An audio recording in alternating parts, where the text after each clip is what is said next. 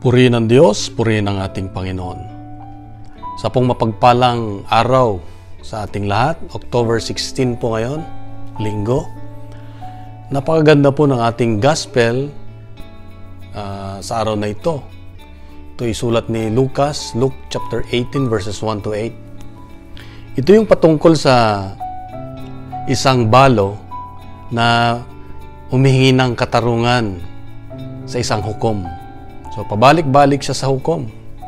Hanggat siguro napuno na yung hukom, ibibigay ko na, igagawad ko na ang inihingi ng balong ito. Alam niyo po, ito po ay isang uh, parabola o parabol ng ating Panginoong Yesus para ipaalala sa atin kung anong pwede niyang gawin o tugon sa ating mga panalangin. Kaya nga ang topic po natin ngayon eh, the persistence, persistence in prayer.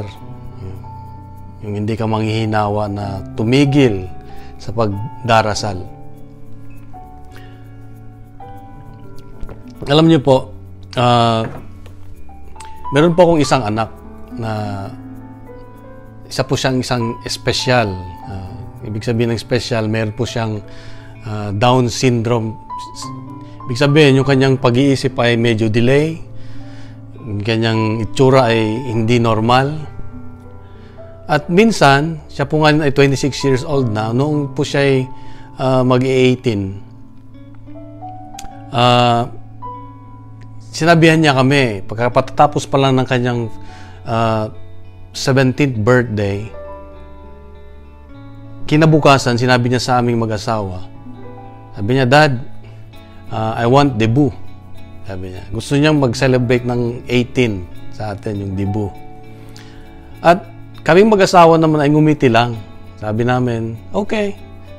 Pero sa loob-loob namin, nung wala na siya at nag-uusap kami ng misis ko, sabi niya, rinig mo sinabi ng anak mo. Gusto niya mag-debut. Sabi ko, baya mo, makakalimutan rin niya yan. Kasi nakapanood siya ng kwan, ng debut sa Manila na napakaganda. Kinabukasan, so pangalawang araw na yon na tatapos pa lang ng kanyang 17th birthday, sinabi na naman niya, Dad, I want debut. Sabi ko naman, yung reaction ko na umiti lang ako, then okay, gumaganyan lang ako. So, ilang araw-araw niyang sinasabi yun, paulit-ulit, I want debut, I want debut. Pag kami nagbibiyahe, nasa likod siya ng sasakyan, sabi niya, I want debut, I want debut. So kami nga mag-asawa, hindi namin pinapansin, hindi namin, kuhan.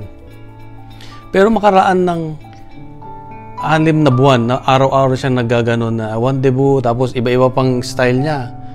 Pag uh, pag uh, meron siyang may mga bisita kami, nag-iimbita na siya. Sabi niya, you know, my debut on my 18th birthday, you need to come. Kumaganyan siya. Tapos pag kumakain kami, lagi niyang sinasabi, I want debut. I want debut, lagi lang sinasabi niya. Kaya nung 6 months na, sabi ko, sa, sa asawa ko, sabi ko, ma, bakit? Lagi niyang inuulit, I want debut. Baka gusto niya mag-debut. Sabi niya, consider kaya natin, kahit na special yan, siguro gusto rin niyang maranasan paano mag-celebrate ng ganon. Yung napapanood niya. Kasi mahilig siya manood ng mga mga teleserye, mga sa YouTube, mga ganyan, mga celebration, mga birthday, lalo birthday. Kasi ang anak namin yun ay kung sino yung mga miyembro ng pamilya, alam niya lahat ang birthday date nila, kaya hindi siya nakakalimot. Kaya sabi namin, sige na, sige na nga para tumigil na siya. Bigyan natin siya ng dibu.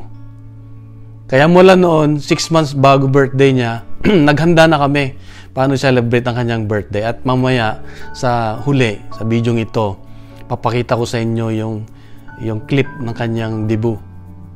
At tuwan-tuwa siya Ganun po yung ating gospel. Ako po yung nagre-reflect kaninang umaga. Sabi ko, oo nga ano. Kung yung balo ay paulit-ulit nangungulit sa hukom na ibigay ang katarungan, binigay niya, ang Diyos pa kaya? Sabi ko, ang Diyos pa kaya na ganun din ang ating Diyos na pag hindi tayo nang hinawa, hindi tayo tumitigil sa kadarasal ng ating mga mitiin sa buhay, para siya itatay natin na uh, tutugunin niya yung ating panalangin. Yung iba siguro maaaring hindi ayon sa ating kagustuhan, pero tutugon siya. Kaya nga, bakit tayo hindi dapat gumive up? Uh, why should we not uh, give up for for praying something in our lives? And so, why then God, sabi ko nga nung una, bakit sa unang panalangin mo pa lang, bakit hindi niya tutugunin ka agad? Pwede naman, di ba? Pero nakita ko na habang ako'y tumatagal na nakikilala ang Diyos araw-araw, kung sino nga ba ang ating Diyos, nakita ko na mayroon siyang dahilan. Ang isa sa mga nakita ko na unang-una ay gusto niya na pag tayo ay may hiningi, yung attention natin ay nasa Kanya. Di ba? When we are, when we give our attention to our family, to our to our yung spouse natin, yung mga anak natin, it becomes a very important gift from us. So, ganun din ang Diyos. God wants our attention. At gusto niya, pag meron tayong mga pangailangan, siya ang unang nat, siya ang unang nating naalala, natakbuhan. Na dati, hindi. Di ba? Kung kakalan tayo, kung saan saan tayo tumatakbo. Yan. At isa pa, gusto niyang i-train sa atin yung, uh, i-teach sa atin yung paghihintay, yung waiting na sinatawag. You know, waiting something, merong, merong magandang na ibibigay sa atin. Nakapag-isip tayo ng maayos, nabibigyan natin ng konsiderasyon, tama nga ba yung aking inihingi? O hindi, natitrain yung ating character, yung attitude natin. Sometimes it takes so long yung hinihintay natin na hinihingi natin kay Lord but parang di naman ayaw naman ni Lord, di naman niya tinutugon yung mga panalangin natin, di ba? So, sabi nga, it purifies us like a silver, like gold. Para matest tayo. Gusto tayong gusto tayong uh, subukan ni Lord. Matest yung ating character. Para lumabas kung kung sino tayo. You know, yung silver, bakit nabanggit sa Bible, sa Zechariah chapter 13 verse 9, na kahit yung silver ay kailangang malinis, purified by fire. Kasi gusto niya na uh, pag nalinis pala yung yung uh, silver, it reflects yung kung sino yung naglilinis, nakita niyo yung mukha niya, ibig sabihin malinis na. Kung din tayo. Pag na nakita na ni Lord yung mukha niya, yung reflection niya sa atin, ibig sabihin malinis na tayo. That's why God is gonna use those uh, uh, instances, mga pagsubok, para makita niya kung gaano na ba kalinis ang ating intensyon. And God wants us to grow, lumago, lalo. Pag tayo pa persistent sa ating pag, uh, pagdarasal, ay natutunan nating ay natutunan na makita kung ano nga ba yung desire natin. What do we really want in life? Yeah yun bang hinihingi mo, kagustuhan ba ni Lord? Uh, kasi when we pray in, persistently at hindi po tinutugon ng Diyos, di ba? It evolves. Sabi ko kanina, nagbabago. Ay, wag na lang kaya. Ganyan. O, o na-filter out yung mga yung mga constructive saka destructive. Lalaman mo na lang later, ay, kaya pala ayaw ni Lord kasi makakasira sa akin. Yan. So, Meron, at saka maalala ko, meron akong isang anak din na pangalawa, yung bunso. Pag merong gusto yon talagang, talagang yuyugyugin niya ang aking katawan. Hahawakan niya yung mukha ko. Sabi niya, Dad. Sabi niya, Daddy, I really, really, really, really want this one. I really, really need this one. Talagang papakita niya sa akin na talagang gusto niya yung hinihingi niya. So, God, God will see yung desire mo na gusto mo para para ma, ma, maki, nag-desire ng puso mo. Gusto niya makita sa iyo. in the book of Psalms, chapter 37, verse 4, sabi niya doon, Take delight in the Lord, di ba? Sabi niya, take delight in the Lord. And He will give you the desires of your heart. Kung, kung inuuna mo ang Diyos, natutuwa ka, talagang excited ka na humingin kay Lord. Makikita niya kung yung desire mo, kung yun nga ba. Meron kasi tayong mga desire na wala lang, gusto lang natin magkaroon. Sabi mo, Dad, gusto magkaroon ng cellphone. Meron ka pa namang cellphone, nakikita ko. So, depende. Kung oras na para ikaw ibigyan ko ng bagong cellphone. Baka naman, uh, sumusunod ka lang sa utos. Pangalawa na nakita ko, when we are persistently praying to God, makikita natin yung priorities natin sa buhay. Di ba? Pag hindi tinutugon ni Lord, tinuturuan tayo, tinatanong tayo, priority mo nga ba yan, anak? Yan. Ba't ka nag-worry palagi? Yan nga ba yung priority mo? When you're worrying something, ibig sabihin, parang importante yun sa buhay mo, di ba? Lalo kung intense yung worry mo. Pero when, when worry comes in your life, that's when you start praying dapat. Hindi yung worry na lang yung worry ka ng worry, hindi ka na makatulog, hindi ka na makakain. But give it to the Lord. Gusto ni Lord eh, akin yan. Bago mo mang mahingin yan, alam ko na kailangan mo, but give it to me. Kitignan ko kung yung priority mo na yan ay makakabuti sa'yo. So, napaka-importante po yung, yung persistent, yung paghihintay natin sa Diyos when we are asking something, when we are praying something. Ako sa buhay ko, ang dami ko ng experience niyan. Natutuwa, natatawa na lang ako kay Lord kung meron akong hiningi at hindi niya binibigay. Sabi ko, alam ko hindi para sa akin. And I wanna thank you.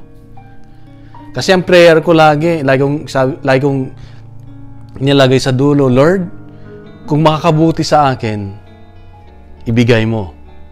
Ngayon, kung ikakasama ko rin lang at kakasama na aking mga mal sa buhay, please, wag na lang. Parang sinasabi kung hindi ka pupunta doon, hindi mo ko sasamahan, eh wag na lang, Lord. Ganun po yung uh, na-realize ko. Ito yung palaman natin, yung priority natin. When we are, when God is delaying something sa prayers natin, hindi niya tinutugon, maybe, uh, tinitignan niya yung priority mo, baka naman hindi priority yun sa buhay mo. Lalo na kung ang priority na yun ay dapat maging daanan para mapalapit ka sa Diyos. Di ba? Yun ang sabi ng isang santo na dapat yung ginagawa natin ay lumalapit tayo sa Diyos. Hindi yung papalayo sa Diyos. Kundi lahat araw-araw na ginagawa natin, tanungin natin ang sarili natin, ito ba ay nag, nagpapalapit sa akin sa Diyos? Isa pa na nakita ko na we need to pray unceasingly, persistent, kasi it tests our it tests our maturity in life. Matured ka na ba? Ay, ibig sabihin, handa ka na ba na naakuin yung responsibilidad pag ikaw binigyan ko ng blessing? Minsan kasi, meron tayong hiningi, hini, bata ka, hinihingi mag-drive na kagad ng truck. Eh, hindi pwede, hindi bibigay ni Lord yon. Kasi titignan niya muna kung pwede ka na. Alam niyo kung sino yung mga yung mga hindi yung mga immature na tao, sila yung mga mga baby, 'di ba? Mga maliliit na bata, mga maliliit na bata kanina nasa simbahan ako, nagsisimba. Nagsermon yung pare, la, walang pakialam yung mga maliliit na bata. Sigaw silang sigaw, iyak ng iyak, takbo ng takbo. Why? Because they have that immaturity still. Hindi pa sila, hindi pa nila alam yung yung yes saka Not yet. No, saka not yet. Tama o hindi. That's why they become immature. Kailan? Kung hindi ka nagiging pasensya, pasensyoso, pasensyosa. Yan, meron kang hiningi, gusto mo, bigay mo na Lord sa akin ngayon. Kailangan ko na. Oh, mag-abroad ako na. Oh, yan. Kailangan ko ng pera, Lord, ngayon na. You know what? Sometimes, we become immature kita ni Lord na hindi mo ka hindi mo pa kaya o hindi mo ka makakaya pag nagbigay siya ng blessing. Kaya importante sa ating persistence prayer ay matuto tayong uh, makita kung mature na nga ba tayo. Lord, kung uh, hindi pa ako handa, wag mo ibigay. So it means, so when you are matured, in, lalo pag sa ating spirit, it means you know the difference between yung dinay-delay ni Lord at yung ayaw niya para sa'yo. At dapat, anuman ang tugon niya, dapat masaya ka dahil yun ang ikabubuti mo. God knows what is best for you, kapatid. Ako in my life, that's my experience. Hindi ko na hindi na ako yung dati reklamador ako sa buhay. Dati wala very impatient ako. Pag meron akong hinihingi, nagtatampo ko kay Lord. Sabi ko, ayaw ko na. Ayaw ko na magsimba. Ayaw ko na magdasal. Ganyan. Pero, God allows those things to happen. Pero, that's when you see yourself that you are still immature. When you are impatient. Gusto niya kasi sa atin, ma-develop natin yung patience kasi isa yun sa bunga ng Banal na Espiritu Santo, the fruit of the Holy Spirit, patience. Yung, yung spiritual growth natin, importante sa Kanya yung, yung character natin. Yung fruit of the Holy Spirit is yung very character of Jesus. Diba? Kailangan we need to build our spiritual muscle na tinatawag. Uh, he wants us to live by commitments, yan, hindi yung nafi-feel mo. Yan. Was us to live yung dapat uh, mature ka na when you, you are ready enough to receive the blessing, you will be responsible enough. Kung bibigay niya man sa'yo yan, eh, responsible, responsible person ka na na kaya mong alagaan, kaya mong ibahagi, and you are committed, hindi yung pabago-bago. At isa pa sa nakita ko ay yung pag ikaw ay persistent sa prayer, nakikita ni Lord yung pananampalataya mo sa Kanya, yung tiwala mo sa ating Panginoon. Yung trust mo, this is, which is the number one na hinihi, tinitignan ng Diyos sa atin. praying persistently even when you don't see any results. Tawag nga dyan, expectant, expectant faith. Papasalamat ka na kahit hindi mo pa nakikita na binigay ni Lord kasi naniniwala ka na alam ng Diyos kung anong makakabuti para sa'yo. Kaya nga, napaka-importante na uh, we allow ourselves to, to be tested by God, lalo yung puso natin, kung ano, ano ang nasa puso natin. Are you Are you surrendering everything to God? Do you surrender everything to God? Do you give yourself completely to God? Yan. Kasi pag ganun ang nagsusurrender ka na sa Diyos, yung point of surrender mo ay uh, nandun na kay Lord, then He, He can use you for His purpose. He can use you for His purpose. Kaya nga, yung test of faith natin, napaka-importante. When you are consistently, persistently, continuously praying, eh, God will surely uh, answer our, answer your prayer. Kaya nga mga kapatid, uh, there are for there are other things na areas na God wants us to grow and God wants us to uh, give His response sa ating mga dasal. Minsan sabi niya, no. Gaya nung uh, yung anak namin na special, na may Down syndrome, nung pinanganak siya, ang pangalan niya ay si Minmin. Nung pinanganak si Minmin, baby, kasi hindi namin alam na down, may Down syndrome siya. Ang prayer ko noon, no, na Lord, pwede mo pa namang baguhin siya, di ba? Pwede pa namang mag-heal siya. Pwede pa naman siya maging normal na bata. Pero you know what? Hindi yun ang tugon ng Diyos sa akin. Sabi niya, no. No, sabi niya. Hindi anak na hindi ko siya babaguhin. Kung ano siya ngayon, yan na. Sabi niya, why? Kasi hindi, wala namang pagkakaiba. Yung itsura lang niya ang naiba. Pero yung spirito niya, kapareho mo rin. Kapareho rin ng iba. Yung interior niya, akin yan. Sabi niya. Ang mahalaga, pinagkatiwala ko siya sa iyo, paano mo siya ngayon alagaan? Kaya't sabi ni Lord sa akin, sabi niya, mahalin mo lang si Minmin. Mahalin mo lang yung anak mo. Dahil akin yan. Sabi niya sa akin. Kaya, yun ang ginawa namin mag-asawa. Tinanggap namin siya buong buo. At habang siya po ay lumalaki, nakita namin na gumagaling siya. Ngayon po ay normal yung speech niya, normal yung salita niya, na-express na yung gusto niya at mapagmahal na bata. Lagi siyang nakayakap sa amin, laging humahalik.